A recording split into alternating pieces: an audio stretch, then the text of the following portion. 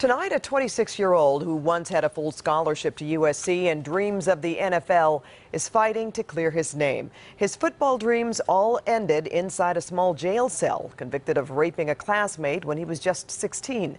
Tonight, CBS 2's Randy Paige reveals disturbing new evidence, which has some legal experts wondering if the rape ever happened at all. For Brian Banks, this beach offers more than a wave of childhood memories. Uh, I live not too far from here.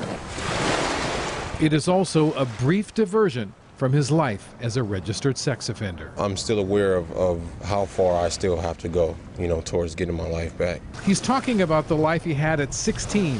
Long Beach Poly says they have it! A star middle linebacker at Long Beach Polytechnic High School with a full ride scholarship waiting for him at USC. I felt like I was on top of the world.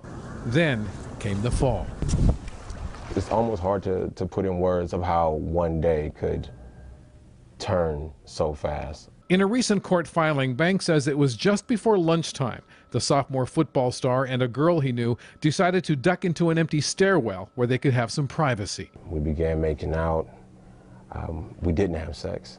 He says a few minutes later, after some heavy petting, the two went back to class. Later that day, he noticed a lot of police, and then he says he saw the girl come out of the office with police officers. It's probably the most surprised I've ever been. Um, that feeling of your heart jumping out of your body. Brian Banks had never been in trouble with the law before, but on this July day in 2001, he was under arrest for rape. The word rape wasn't even in my vocabulary at 16. The DA offered him a deal plead guilty to rape and spend another 18 months in prison or go to trial and face 41 years to life. He says his defense attorney put it this way. When you go into that courtroom, the jury is going to see a big black teenager and you're automatically going to be assumed guilty. Those are her exact words. The terrified teen wanted to speak to his mother. He was told, no time. You've got 10 minutes to decide. I sat there and I cried and I asked questions and I asked why and I cried and um, 18 months sounded way better than 41 years to life. Brian Banks pleaded no contest to rape. A judge sentenced him to six years in state prison where was the physical evidence here that would prove that he was guilty? Brian's new attorney, California Innocence Project Director Justin Brooks, says hospital records show the alleged victim told authorities Brian left his DNA evidence inside her. Yet, according to lab results, not a single molecule of his DNA was recovered from the victim or her clothing. So, Brian's story is the only one that makes sense. As it turns out, Brian Banks isn't the only one saying he is innocent. Did uh, he force you to have intercourse or anything like that? No. His alleged victim was caught on tape saying he's innocent too. Did he rape you?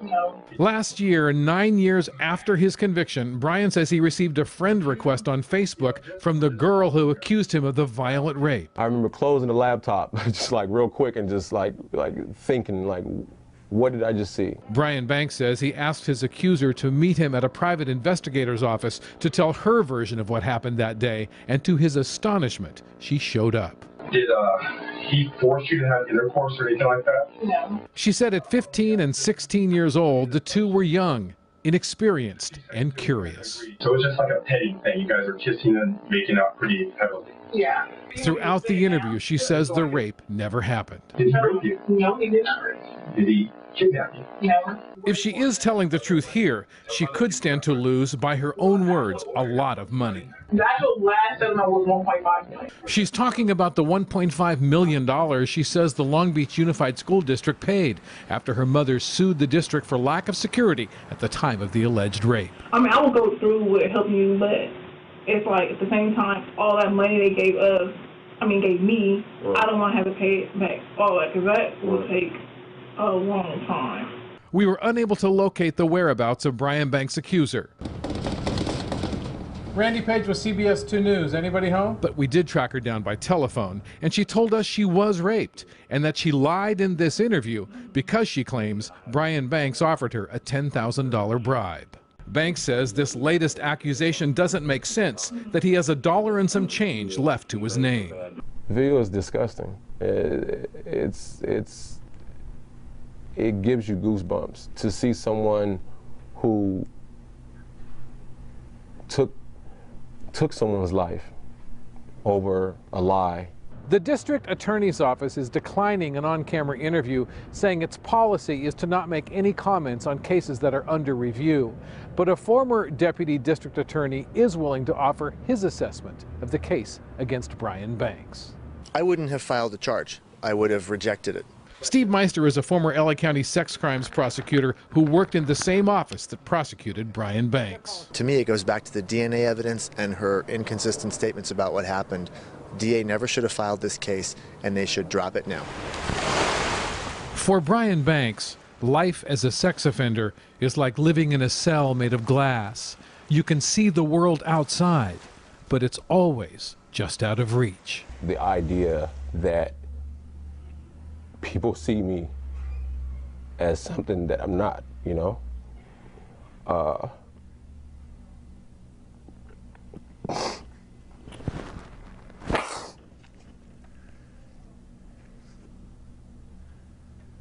I just want this to be over, you know. When you were 16, you knew what your dreams were. You had a free ride at USC, you had a possible pro career ahead of you. What are your dreams today? To be free. In Long Beach, Randy Paige, CBS 2 News. As a result of the new information, the California Innocence Project has filed a petition to try and exonerate Brian, and they're due in court next month.